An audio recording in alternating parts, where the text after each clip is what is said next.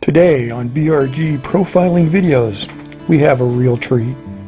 We're looking at Matt Zwicker's 1983 CB 1100F that over the years he has lovingly restored to better than stock. With the suspension updates and the JES built motor and other bits that he's gotten from JES, Matt's efforts have been rewarded by turning this grand lady into what she is today. Now, Matt's bike is here to have a proper tune done on the JES motor and the CR carburetors. Yes, we're just doing the finished tune on the bike, and the horsepower numbers are a credit to what Jim Stewart at JES and his knowledge of these engines. Jim specializes in these bikes, and I hope he doesn't mind if we call this bike a BRG beast.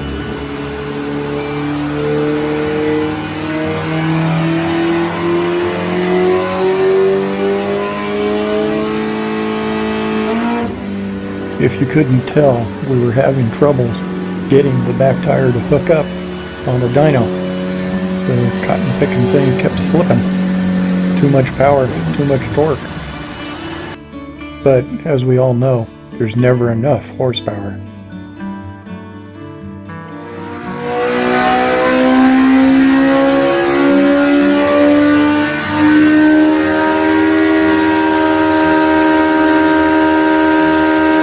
Green line is the base line. The white dotted line is what we just did. That's six more horsepower with getting the main jet, the needle, and more importantly, the ignition timing right. Is that the face of a man who loves his job?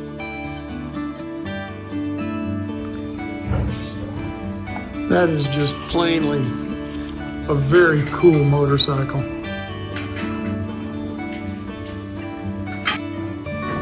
Honest, you know what we should do? We should do a freaking sweep test on this thing. Take it out and ride it and see, see how it, uh, see how it is. We might throw it back up and do a sweep test. All right, be careful out there. Thing sure starts hard.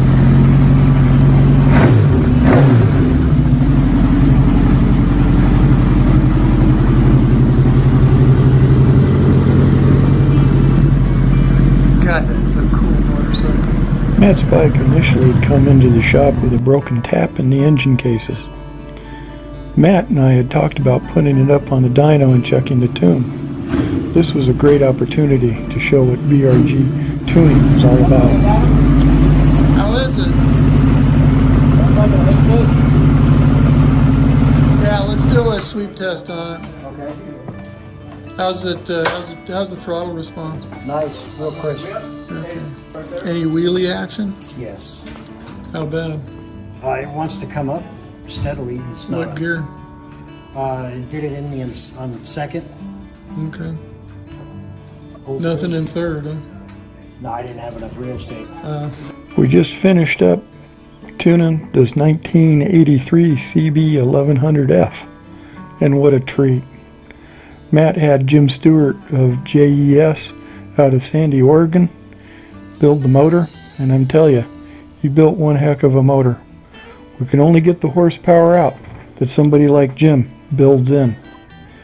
When we finally got the ignition timing working with the compression, it stopped rattling like an old tin can and started spinning the back tire on the dyno. We had a heck of a time getting that tire to hook up, and I think there's more in her.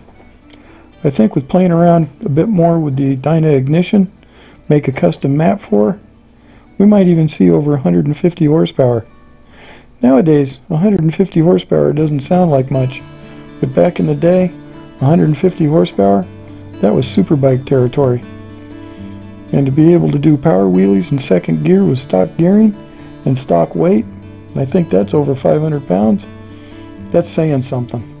It never ceases to amaze me how just some small changes in the tuning can make a huge difference in how the bike wants to run.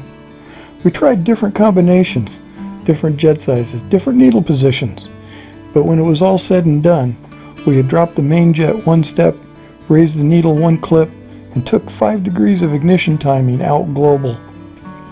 The bike doesn't ping anymore, the spark plugs look awesome, and the customer clearly is very happy with what we did. You better like this. I'll do it. Hey man, I, I appreciate I appreciate Oh, it's my good work. pleasure. It's my pleasure. I'm pretty I was happy to have a mechanic to go do the crazy shit. Yeah. But it hit good and hard right at about 6,000 RPM. And, Oh yeah. Right up right up here. yeah. Um, that's that's when I caught up to the gaggle of police officers. Uh, it was screaming. They wanted to keep going. I got to 110 at 7,000 RPMs. Plugs are way better. Oh, good. Way better. Uh, and your pipe, uh, your exhaust pipe is cleaning up nicely. Screaming. Once you get up to the, the top end. Oh shit. It gets with the program. yes, it does.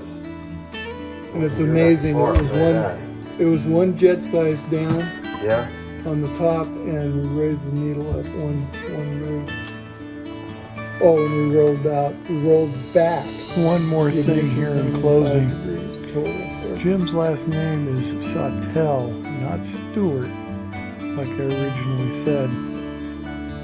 And he did not pay me for anything that I've said here.